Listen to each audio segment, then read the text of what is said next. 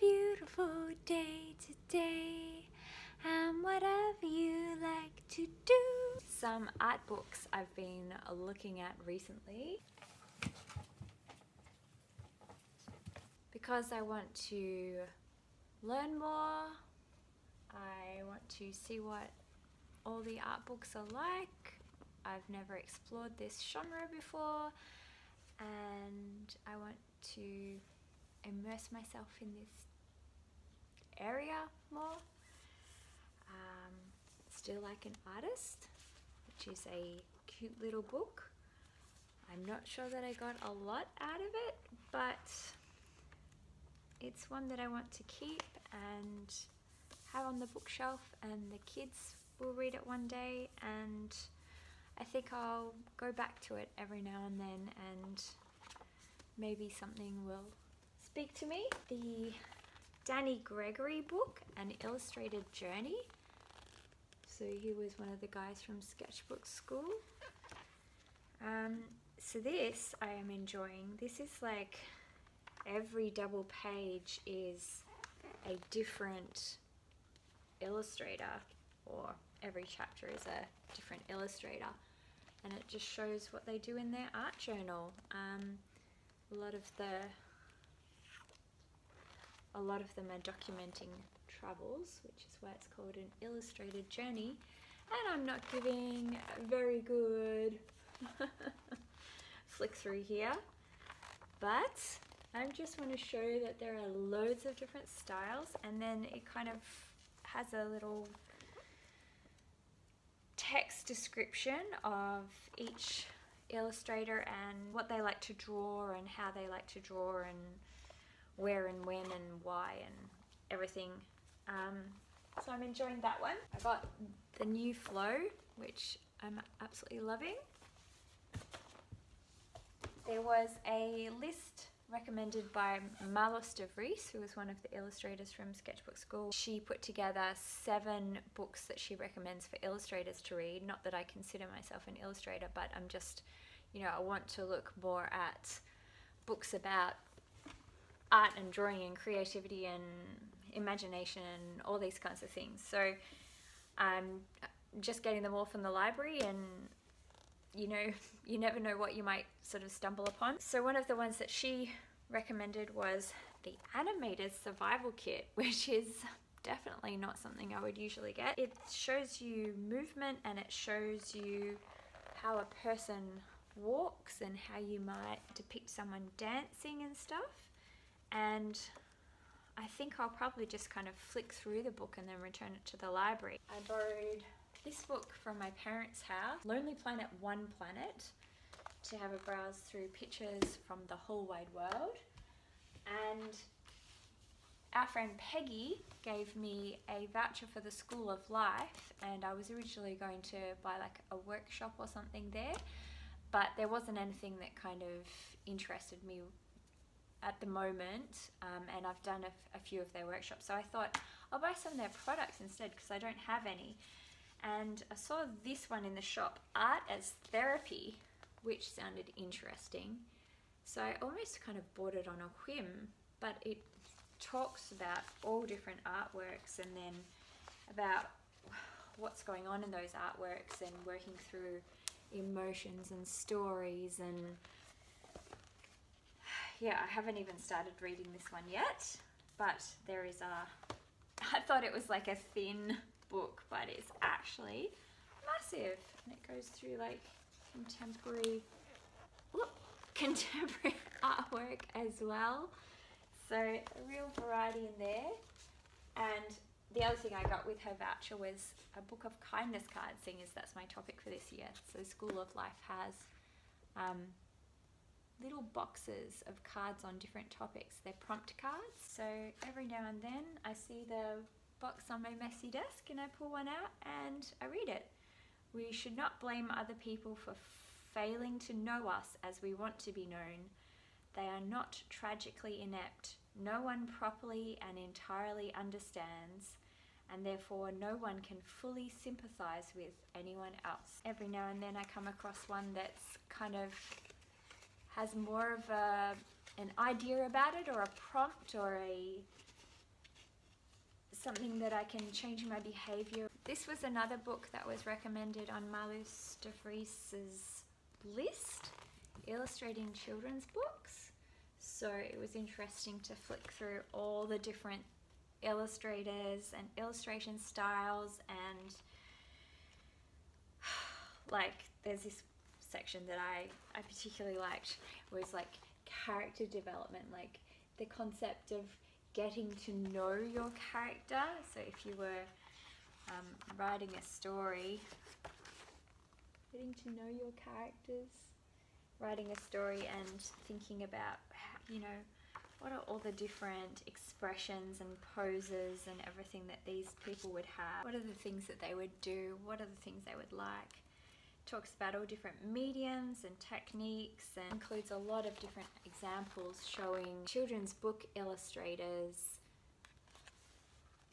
initial sketches and then sort of how they refined that and then how they got to their end product and then the end product.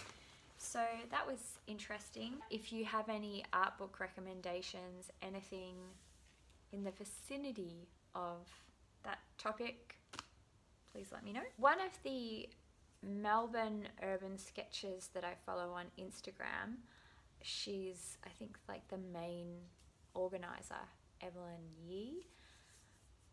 I saw her mention on her Instagram feed a couple of times recently. She did a portrait of a person, which I haven't really seen her do a lot of portraits before. It's usually like uh, urban sketching on her account but underneath them she had written um, playing with the Sktchy app and I was curious. I thought it was probably an app like Procreate for iPad, which everyone talks about um, actually for sketching, but I looked it up uh, one day and it's a art sharing app. Now I thought that this was a wonderful little niche idea and it looks like it's a bit thriving at the moment because it's new and it's exciting. It's got a bit of buzz happening. And what I found extra exciting about it was that they have art challenges. So at the moment, they've got 30 days, 30 portraits. So you pay like $10 and you join in the challenge. You get prompts every day and then you have to upload what you're doing. I don't know what you get at the end of it. And the other one was something to do with Cupid. So you get a cupid on Sktchy and you have to draw them and they have to draw you. And I also love that there's a community aspect. So there was this question that I thought was wonderful. How do you take artistic inspiration from a foreign culture without exploiting it?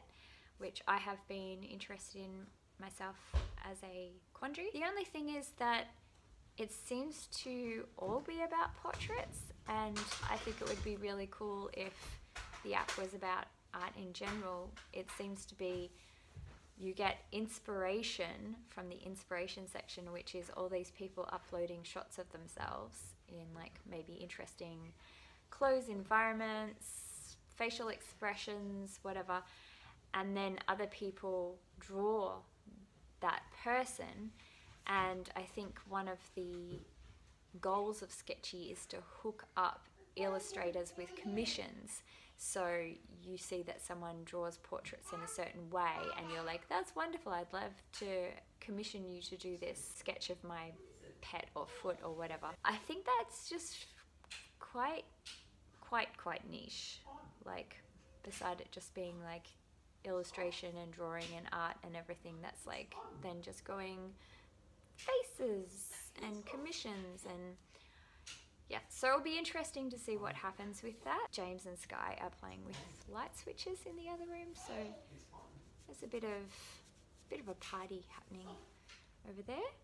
This is a cheat because I should not have sent this to you by email, but I did, and I'm very, very, very, very, very, very naughty. Uh, so I might have to go in the hallway for one minute. But the tango video, I should have left it for this, and talked about it here. So forgive me, I'm going to talk about it again because I just think it was really good and I know you've already seen it because I was naughty and I emailed it. But Jason Kottke posted this time loop video an animation of all these people coming into a room and doing things and then leaving the room and then it repeats and then it repeats. And I thought it was just wonderful. So I will link that below with all of the other millions of links.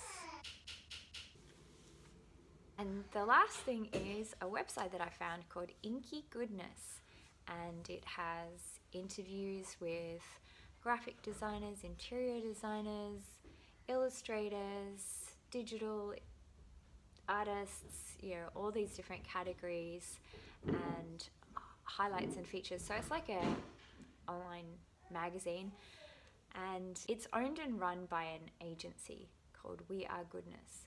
So that always makes me feel like, ooh, I wonder how long this thing will be like good quality or run for or anything because I can be cynical about when agencies decide to do side projects.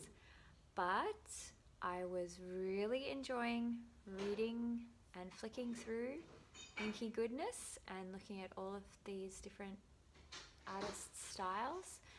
And the original way that I found out about it was that there was an interview with Frannerd and she had linked to it. And I was like, oh, Inky Goodness, that's a really cool name for something. What is that thing? Where is this interview? What other interviews are there? So I'm going to read more of that website. Responses. Can you choose February's art project? Thank you. Sky, do you want to come and help me do the Bye I Love You song? Yeah? No? Don't want to help? Goodbye, I love you. That's almost right. Is it the Goodbye, I love you song? Almost. Oh, and I forgot to say regarding tidy houses, I think the thing that helps me best is being in spaces that are like awesome.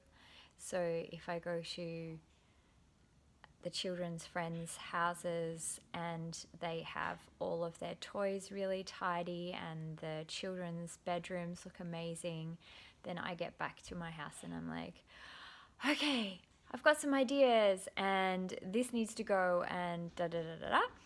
And likewise, if I go into other people's houses, like friends, or you know, I just break into other people's really nice houses and then I come back to my living room or my bedroom and I'm like, I think I'm going to steal some ideas from Anna Kendrick's bedroom because that would look really good in mine, etc. And Sky agrees. Bye, I love you, bye, I love you, bye, I love you, bye.